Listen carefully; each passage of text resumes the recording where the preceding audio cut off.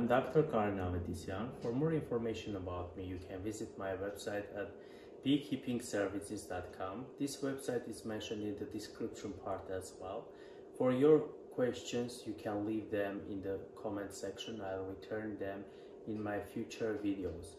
You can also subscribe my channel uh, to have updated videos daily. Today I want to talk about chalkbrood and its economic impact on beekeeping.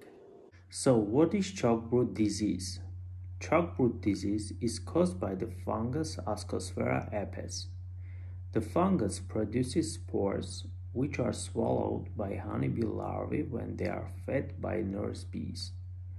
Larvae are most susceptible to infection at 3 to 4 days of age and infected larvae die within 2 days of cell capping. Ascosphaera apis primarily infects honeybee brood by entering the host through the gut lining. In an infected larva, hyphae penetrate the gut wall and mycelium develops inside the body cavity. After a few days, mycelium breaks out of the posterior end of the larva, leaving the head unaffected. These ultimately cause the larvae to die. Usually, the spores are spreading rapidly if the temperature is cold, air humidity is high, the bees have been fed with syrup a lot and are short of protein source. Infected hives show a scattered brood pattern with perforated cappings. The larval body dehydrates, creating dynastic mummies, hard, shrunken, and chalk-like. The fungal mycelium infiltrates the larval tissue and fruiting gives the mummies a white gray color. The cappings of cells containing dead larvae may be chewed away by the honeybees and the mummies removed to the hive entrance, dropped to the bottom board, or on the ground outside the hive. Diagnosis in the field is generally based on the presence of chalkbrood mummies. Chalkbrood disease can be easily spread between hives through the drifting behavior of drones and worker bees as well as the robbing behavior of worker bees. It can also be transferred between apiaries on contaminated equipment, pollen, and in water. Spores of Ascosphaera apis can stay dormant and viable for years. But upon exposure to CO2, the spores becomes activated resulting in spore swelling and subsequently germ tube formation that extends to form hyphae.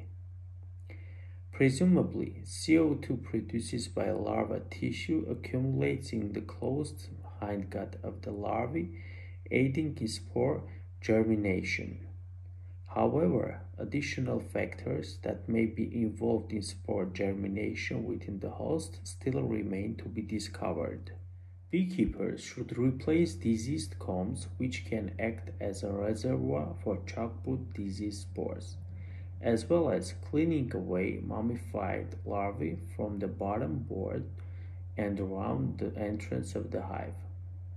These activities will remove the main source of infection within a hive and assist in preventing reinfection of the disease. Hives should also be placed in well-ventilated, dry area with the sun facing the entrance of the hive to reduce conditions that favor the disease. Lack of population may be a contributing factor in the colony's ability to ventilate properly. Honeybee stocks differ in susceptibility to chalkbrood disease, so beekeepers should replace the infected colony's queen with one supplied by a reputable breeder. This variation in susceptibility is mainly due to differences in the hygienic ability of the honeybees to uncap and remove diseased brood. By selecting queen bees or obtaining honeybees from hives that show this trait, the effects of chalkbrood disease can be reduced.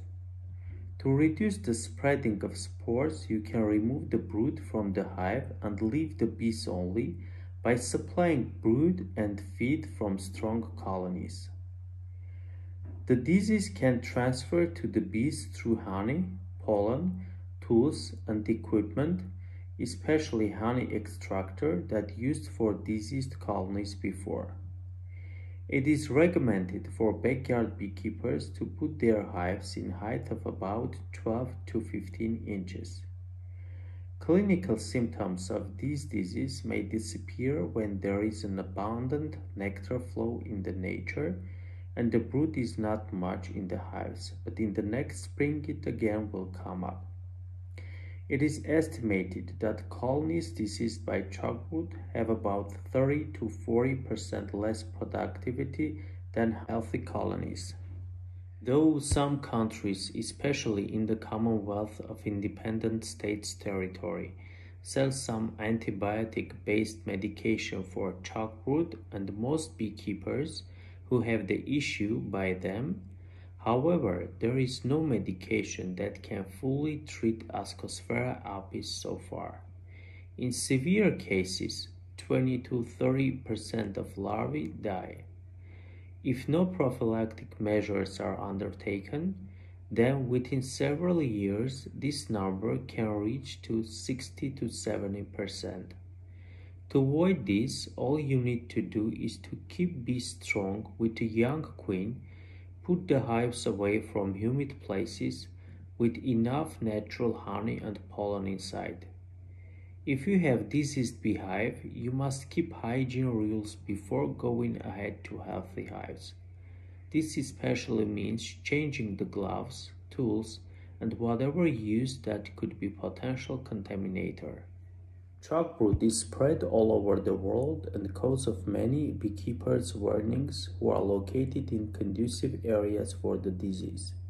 If you periodically observe chalkbrood, you can apply medication named Bee Vital Chalkbrood twice a year, spring and autumn time.